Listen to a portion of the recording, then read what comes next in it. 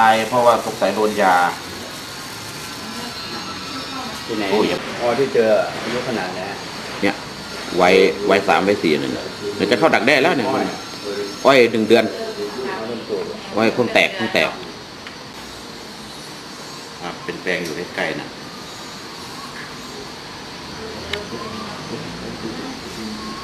แก่แสงอยู่ตำบลอ่าตำบลเมืองเกษตร ตำบลเมืองเกษตรกับตำบลชีวึกอยู่ติดกันน่ะ